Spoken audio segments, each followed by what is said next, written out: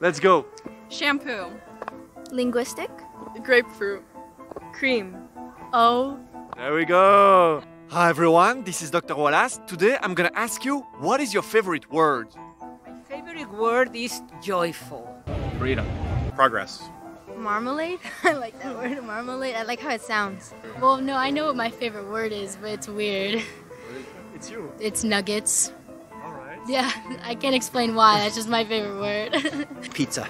Spatula is a nice word. The color aqua. I like the, the word. I like the word static. I don't know why, it just like sounds cool.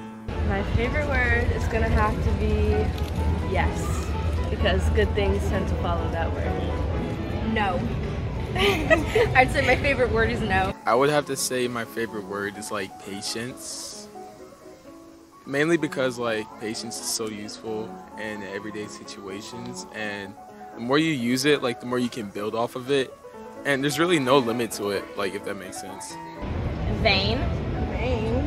But V-A-I-N. Okay. Instead of the actual vain. I just like the word. um, my favorite word is swag because I'm swagger. Um, y'all, because like I can't stop saying it when I'm like with people. I just say y'all, like, hey, what's up? My favorite word's bruh because I can use it a lot of times. Uh, serendipity. Serendipitous. It's like our meeting today. Serendipity means um, the joy of uh, happenstance.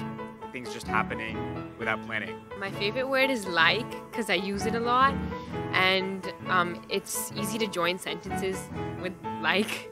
My favorite word definitely is gonna be possible because I feel like uh, everything is possible in my life. I never see an obstacle in my life.